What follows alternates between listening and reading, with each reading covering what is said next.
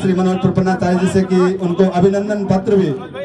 अभिनंदन पत्र भी उनको भेंट करें। श्री महेंद्र मनोज प्रपन्नाचार्य जी से निवेदन करूँगा और श्री आसाराम व्यास जी से, श्री विशाल मणि पैनल जी से के S K S Rana ji से, श्री गौरी शंकर महोदय